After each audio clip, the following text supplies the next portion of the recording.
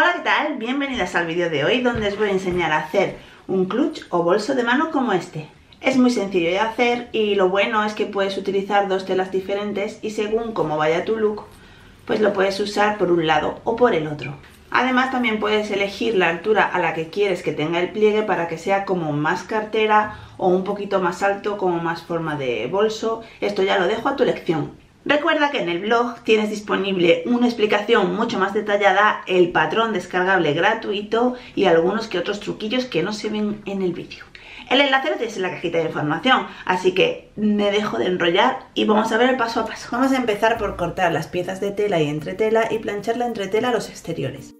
Luego vamos a hacer esta especie de bies a mano, doblando un trocito de tela por la mitad y a su vez luego los extremos hacia adentro, haciendo otra vez mitades. Estos serán los topes de la cremallera.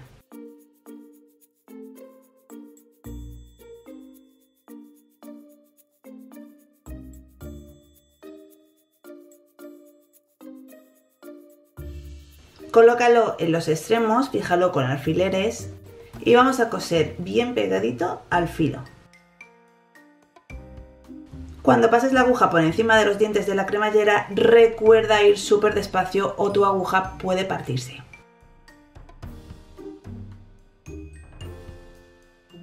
Ahora vamos a colocar la tela exterior con el derecho hacia arriba, nuestra cremallera con el carro hacia abajo y bien centrada, dejando como medio centímetro a cada lateral. La puedes fijar con alfileres o con clips, que es como lo hago yo.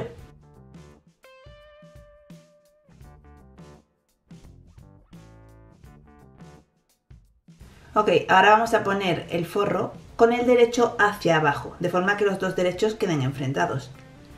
Mira bien que la alineación es la correcta.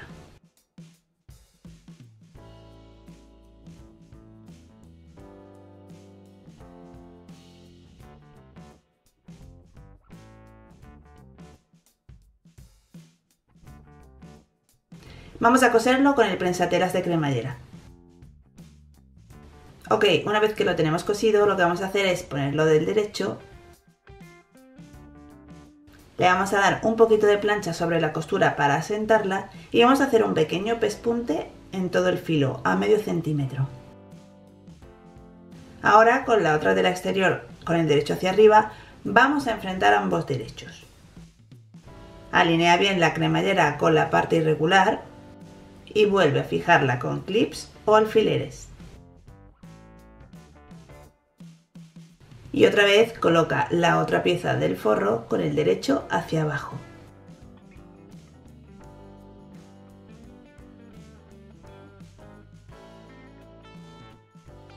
Y repite todo el proceso. Cóselo con el prensatelas de cremallera, luego lo vuelves a poner del derecho, planchas y vuelves a hacer un pespunte a medio centímetro.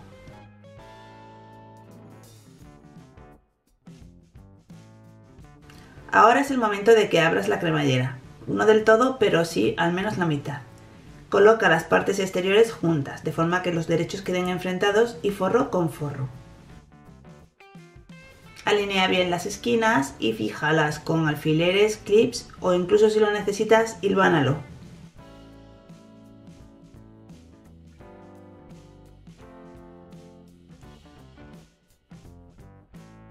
Ahora haz una pequeña marca de unos 10 centímetros en la parte del forro. Vamos a coser todo alrededor dejando eso abierto. Es para darle después la vuelta.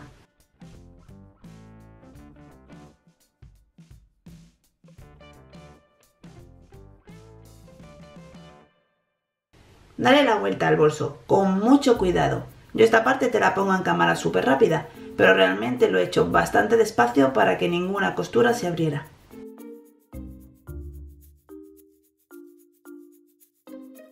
Una vez hecho esto, vamos a plancharlo para asentar bien las costuras y quitar las arrugas de haberle dado la vuelta que siempre se queda muy arrugado.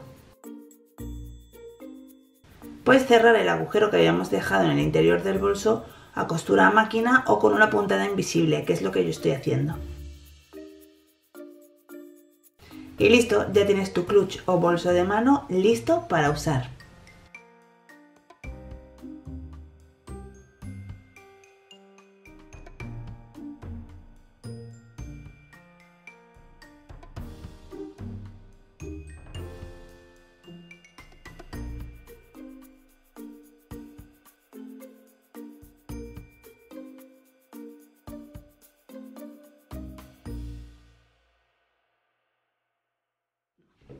Espero que te haya encantado este bolso de mano o cartera de mano o lo que los modernos llaman clutch.